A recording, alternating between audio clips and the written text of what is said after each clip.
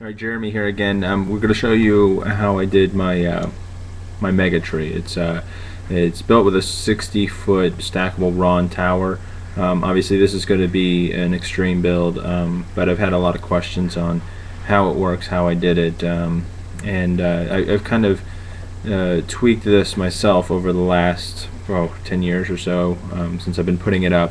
Uh, this year, I have it going um, what would that be uh, horizontally up and down and then I have a spiral a channel spiral that, that spirals around the tree um, obviously with the star at top um, but uh, take a look at the video.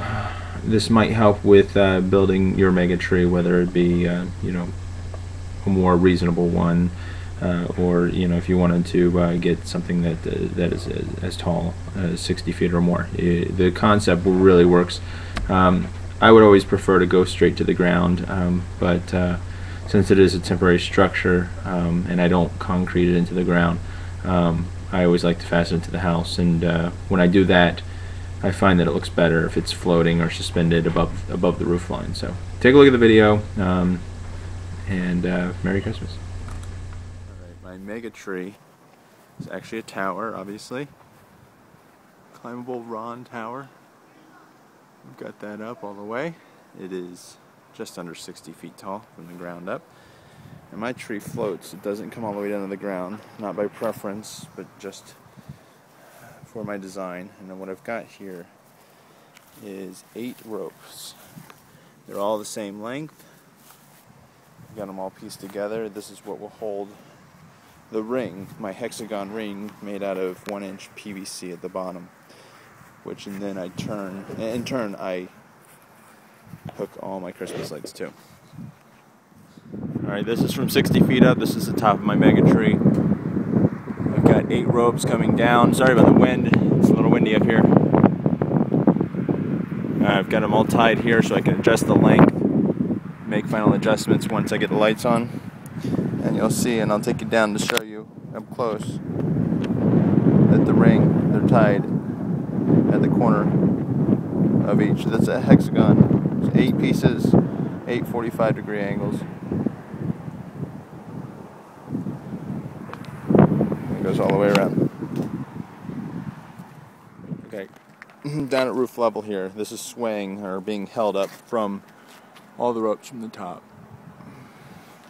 And what I've done, this is one inch pipe into a 45 angle. I've actually marked each uh, coupling with the pipes so next year when I need to use them I know which ones go where and have just put in um, a little bolt with an eye hook so I can tie the rope. Now this sways right now and if you don't guide this down obviously it'll cause uh, some problems if you get a high windstorm so eventually I will I will uh, bring more rope to tie it here to the center of the tower. These ropes use uh, works as good guides to uh, attach the lights whichever way you want to go. If you want to go vertically up, if you want to go wrap them around, which I'm going to do, and um, and or a spiral all the way up, which I'm going to do as well. All right, here's your mega tree. It's nighttime. I figured the best time to to show it. Um, see if I can turn on the light here. All right, what we did here, we have rope, obviously, as seen in the video before. Um, divided that among the channels, the, the length from the bottom to the top, divided that among the channels that I have.